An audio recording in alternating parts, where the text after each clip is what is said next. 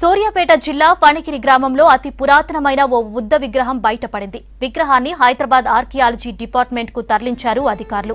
అత్యంత పురాతనమైన ఈ బుద్ధ విగ్రహాన్ని రాష్ట్ర టూరిజం శాఖ మంత్రి శ్రీనివాస్ గౌడ్ పరిశీలించారు.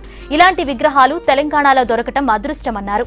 ఇలాంటివి ఎన్నో చారిత్రక విగ్రహాలు ఉన్నాయని వాటి కోసం ఒక ప్రత్యేక మ్యూజియం ఏర్పాటు చేయాలని సీఎం కేసీఆర్ను కోరుతానని చెప్పారు.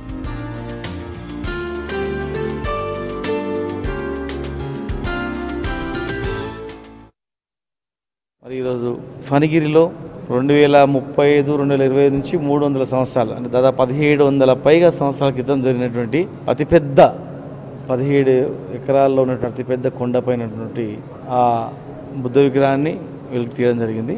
ఎంతో వేల మంది పర్యాటకులు రావడానికి గొప్ప అవకాశం ఉన్నటువంటి ఈ ప్రాంతం. ఖచ్చితంగా మా ముఖ్యమంత్రి గారితో మాట్లాడి మా పురావస్తు శాఖకు ఒక పెద్ద మ్యూజియం కూడా చాలా అవసరం. ముఖ్యమంత్రి గారితో చర్చించి ఇవన్నీ కూడా ఒకే దగ్గర ఉండేటట్లు చేస్తాం.